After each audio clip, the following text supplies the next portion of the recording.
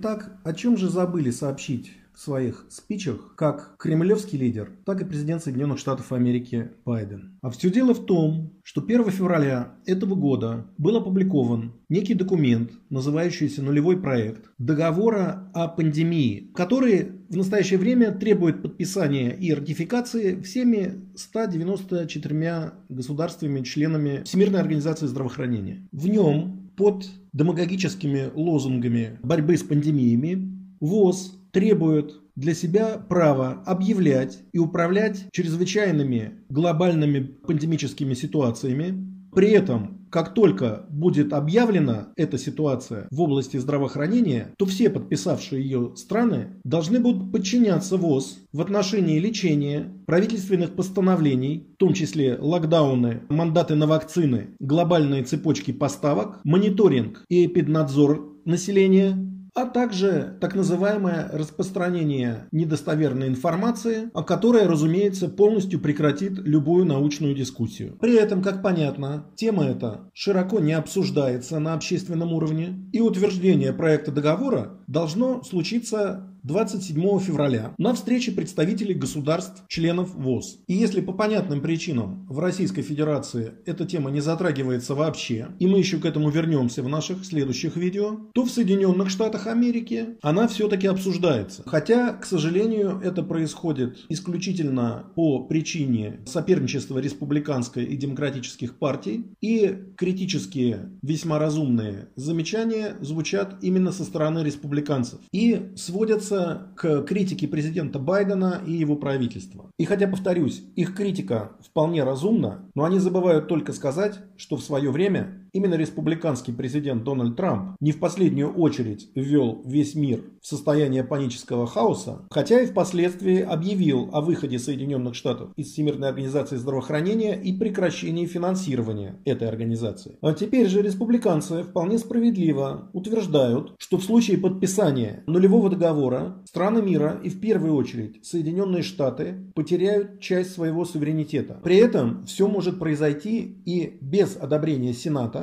исключительно действиями самого президента Байдена. И даже без прохождения Сената возможной станет временная имплементация этого соглашения. Забудем на время о всевозможных лозунгах сохранения здоровья, координации, борьбы с эпидемиями. Этим можно оправдать все, что угодно. Но вот что, в частности, говорят американские профессиональные эксперты, с которыми мы, безусловно, согласны. Доктор Дэвид Белл, врач общественного здравоохранения и бывший сотрудник ВОЗ, специалист специализирующая как раз на эпидемической политике, говорит, они решают, что является чрезвычайной ситуацией в области здравоохранения. И они внедряют механизм наблюдения, который вырабатывает критерии для объявления чрезвычайных ситуаций. Фактически этот договор выражает инициативу Всемирной ассамблеи здравоохранения по созданию глобальных правил борьбы с пандемией, которые заменят законы государств-членов. Фрэнсис Бойл, профессор международного права в юридическом колледже университета Иллинойса,